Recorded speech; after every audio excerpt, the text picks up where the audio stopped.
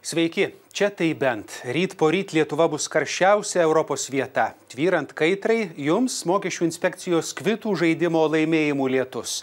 Šimto laimingųjų numerius matote ekrane, visi laimi po 50 eurų.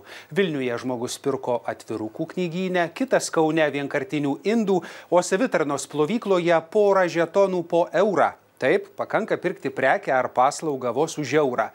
Tada kvitą registruoti internete adresu kvituzaidimas.vmi.lt ir laukti antradienio.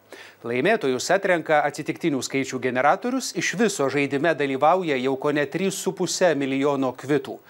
Tuo joninės prasidės atostogų metas. Vyksite iškilauti, pietausite, Išsirinksite naują maudomuką, paplūdimio šlepetaičių porą, skėtuką nuo saulės pilsite degalų, gal vyksite autobusu, traukiniu, kam išmesti kvitus, jei galima dalyvauti žaidime. Dalyvaukite, registruokite ir laimėkite. Sėkmės. thank you